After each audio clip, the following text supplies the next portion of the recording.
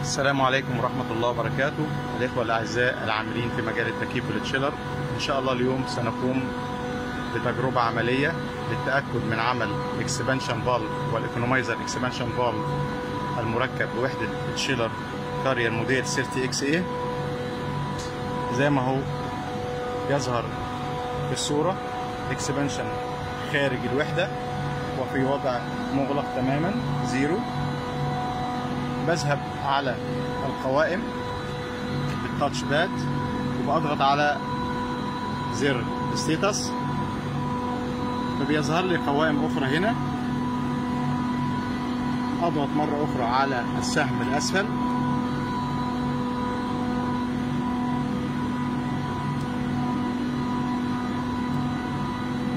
تظهر معي قوائم أخرى. أضغط على quick test رقم 1 هكذا.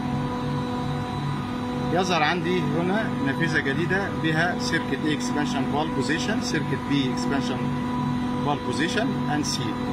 لكن أنا اليوم برغب في عمل تجربة لل economizer expansion هضغط مرة أخرى على السهم الأسفل.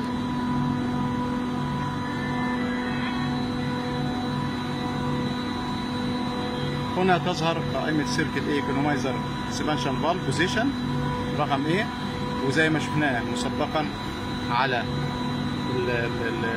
ال expansion valve هو في وضع zero بضغط عليها. ثم أضغط على علامة الشرارة الكهربية.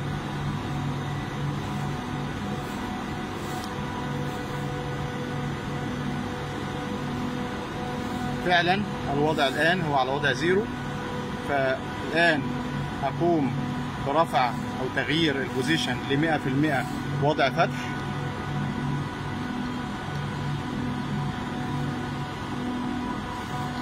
ثم أقوم بالضغط على علامة صح.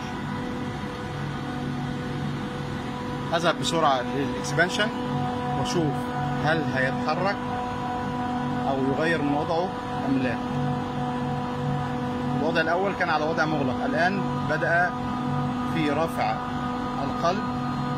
وفتح الصمام مئة في المئة وبهكذا أكون قد تم تجربة عمل الاكسبانشن فالف وهنا تغير أيضا الوضع إلى 100% شكرا.